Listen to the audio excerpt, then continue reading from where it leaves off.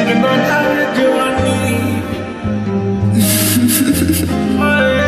ਸੁਣਨੇ ਗੁੱਟ ਨੂੰ ਵਾਚ ਕਰਾ ਦਾਂ